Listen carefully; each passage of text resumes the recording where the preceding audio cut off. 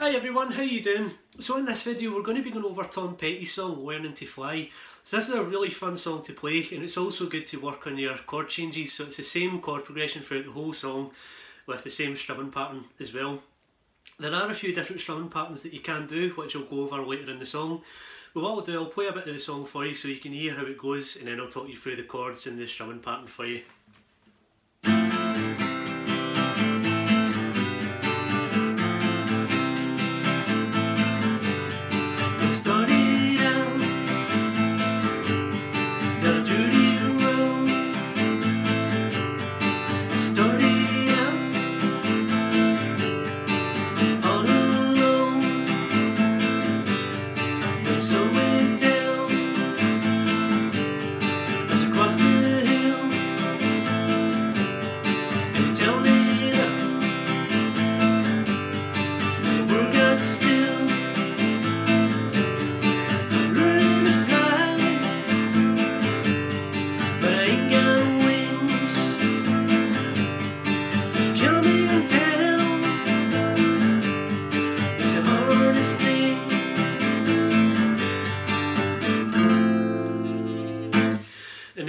So that's the whole song, pretty much it's the exact same chord progression, exact same strumming patterns the whole way through.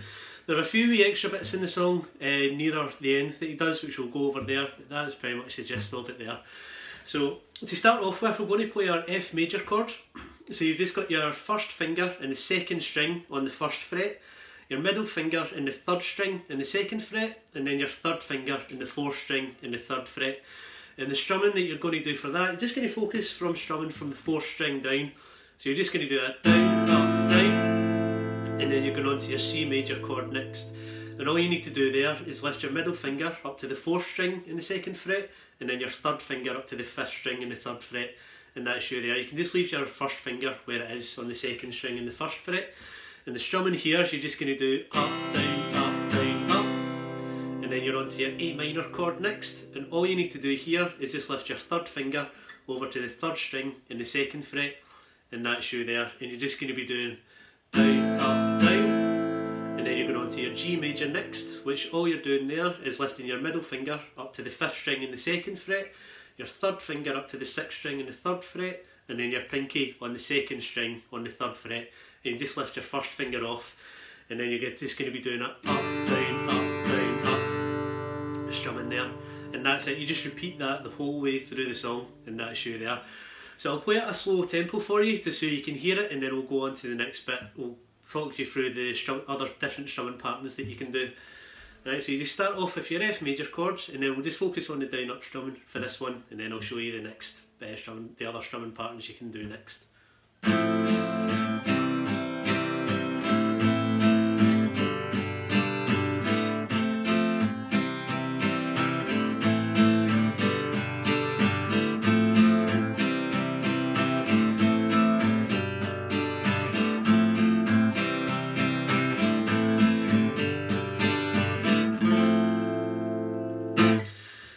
That there. So again, it's just down, up, down, up. So I'll talk you through that strumming pattern again.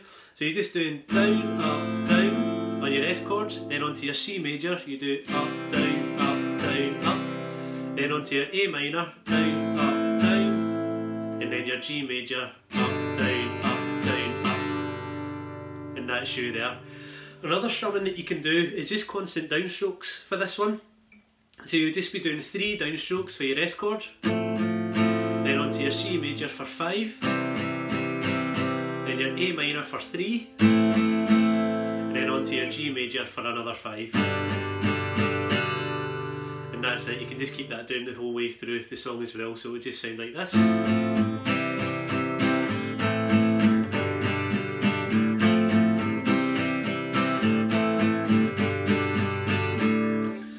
Right, and what you can, what else you can do for that, if you're going to be doing the constant downstrumming. You can do palm muting as well. There's been a few live videos that I've seen uh, Tom Petty doing where he will mix between just playing it just like that there and going down, going focusing on the downstrokes. So what palm muting is, all you do is just get the side of your hand and you just gently put that on the strings and all you're just doing the same picking pattern so you get three downstrokes for your F chord then five for your C major then onto your A minor for three, and then G major for another five. And that's just how you can do that there.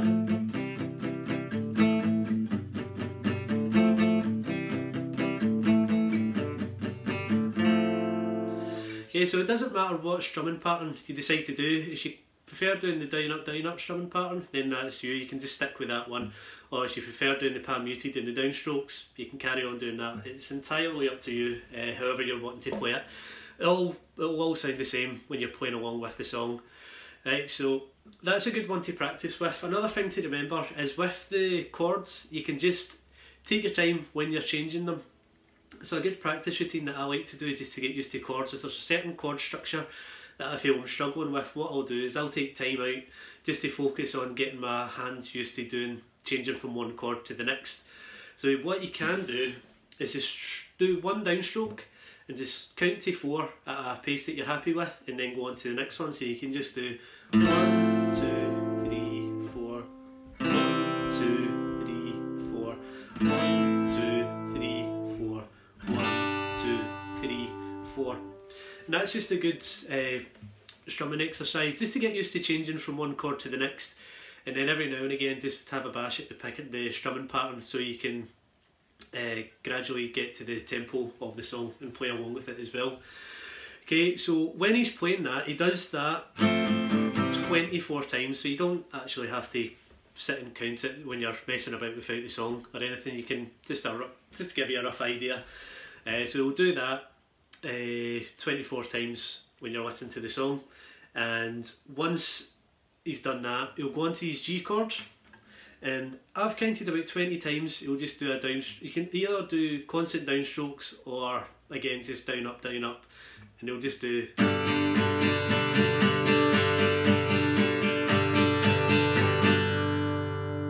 and then it kicks into the solo and then he's back into doing the chords oh, he just went over there Okay, so I'll play that. I'll play the chords that we just went over a few times for you, going into the G chord, and then I'll show you the last wee strumming pattern that he does near the end of the song, and then I'll let you go and have a practice at that.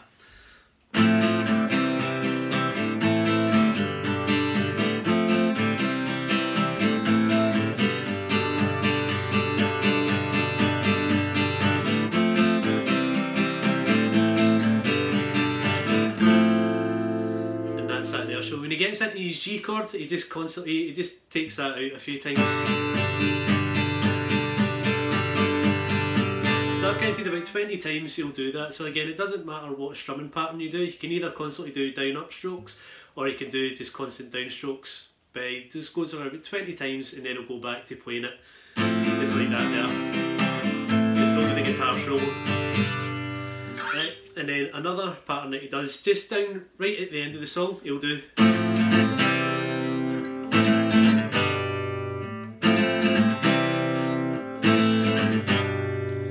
okay so it's just a kind of down up down then onto your C for one downstroke then your A minor down up down then onto G for one downstroke so just a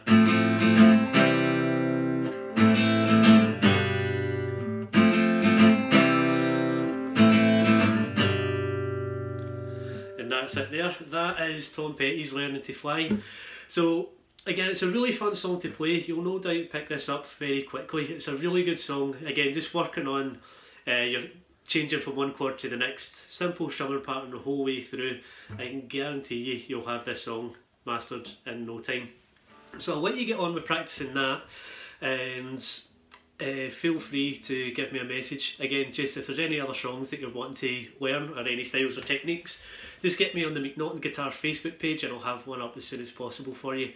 If you could also go on to subscribe to my YouTube channel, which is youtube.com slash McNaughtonMusic, that would be a great help as well.